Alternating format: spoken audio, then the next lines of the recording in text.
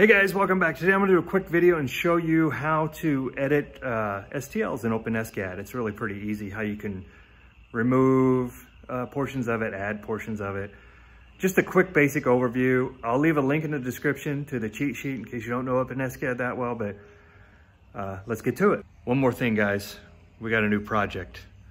Video coming up soon. I just wanted to do a quick video to show you how easy it is to edit STLs in OpenSCAD and I'm using as you can see down here version 2019-05 so what you want to do is go to a Thingiverse or someplace and get your STL that you want to modify or use one of your own.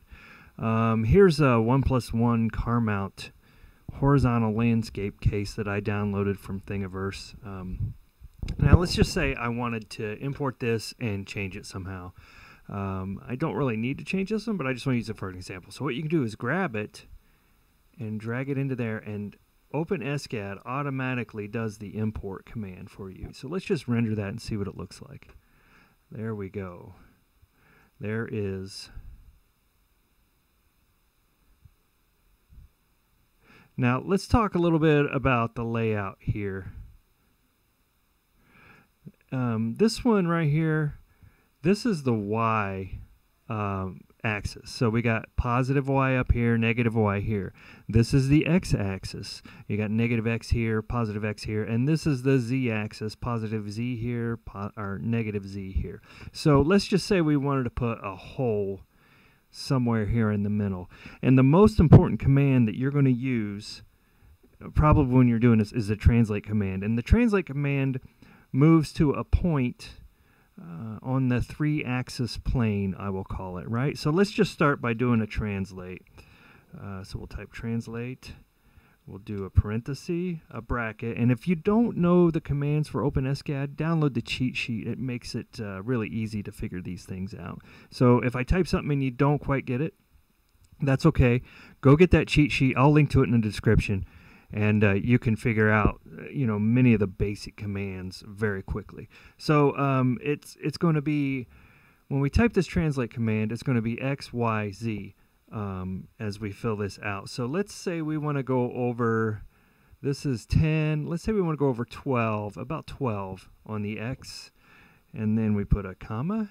And then we want to go up uh, 10, 20, 30, 40, 50. Let's say 50 on the y and this goes up maybe two on the z. So we want to start at let's start at negative one which will be just underneath this thing right here. We're going to start. That way we can get a hole to go all the way through it. And now that we have our translated completed we're going to do our next command which will be let's say the hole would be a cylinder right? So cylinder and we do our parenthesis and we want to make it a height uh, let's make it 10 and then an R of 2 right? And then what what will happen is it will build the solid all the way through it.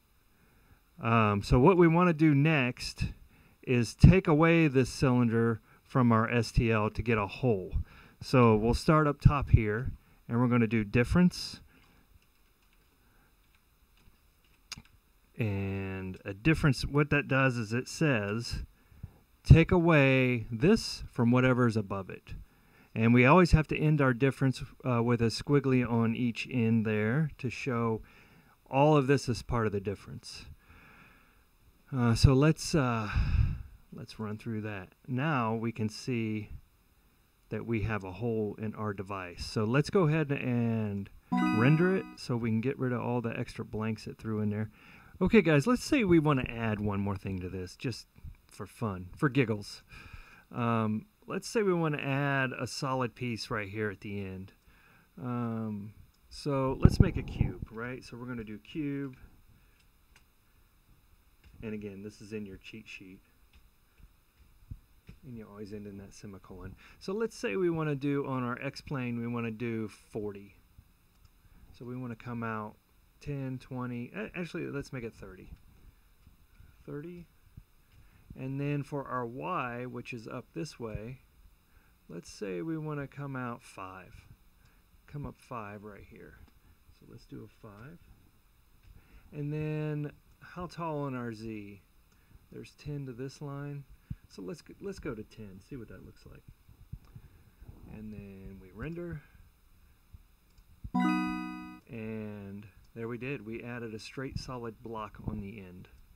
So again, you can just add, delete, do whatever you want by moving things around. Uh, let's say there was a bunch of writing here. Um, what you could do is translate a cube or, or a rectangle basically, but it's going to be a cube in OpenSCAD, and just lay it right down on top of the writing and it would cover up the writing. Uh, that way when you go to print it, you don't have any specific branding or anything on there.